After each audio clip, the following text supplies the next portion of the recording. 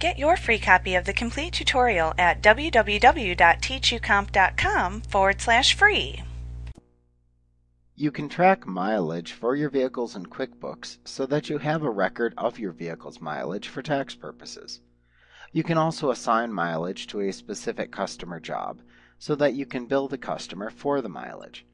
There are some limitations to the use of this data, however. You cannot use the data to reimburse employees or vendors for mileage. You also cannot track specific vehicle expenses like tolls paid, gas, and other types of expenses. You can work around this by simply entering these charges as a bill, which can be charged to the customer. Also, vehicle mileage information from Quicken will not be imported into QuickBooks. Generally, you can use either the standard mileage rate or the actual expenses for calculating vehicle mileage expenses. You should consult with your tax advisor or the IRS to determine which method you should use, if any. To enter vehicle mileage, select Company from the menu bar, and then choose the Enter Vehicle Mileage command. This will launch the Enter Vehicle Mileage window. Use the Vehicle drop-down at the top of this window to select for which vehicle you will be entering mileage. You can also type a new vehicle description into this dialog box and then use the Quick Add feature to quickly add the vehicle to the vehicle list.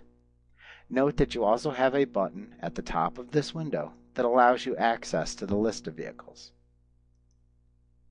Next, use the Trip Start Date and Trip End Date calendar drop-down fields to input the start and end dates of the trip that you're recording. Then input the odometer start and end values into the boxes provided. That will fill in the total miles by subtracting the two values. You may also simply type the total miles of the trip into the total miles box if needed. If you want to assign the miles to a specific customer or job, then check the Billable checkbox in the upper right corner of the window, and then use the Customer Job dropdown to select which customer or job to assign the mileage.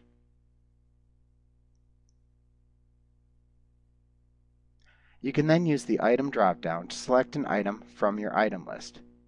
If you are going to be reimbursed by the customer, then you will need to create a mileage item as an other charge or service type item so that you can use this to collect the amounts in an invoice at a later point.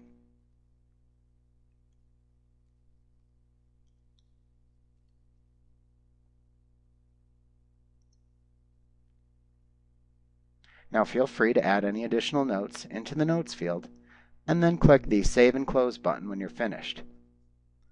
Also note the Mileage Rates button that appears at the top of the Enter Vehicle Mileage window. If you click this button, you will be presented with the Mileage Rates dialog box. Here you can input the most recent effective date of the federal mileage rate into the column available. You can also set the rate in the rate column next to the specified date.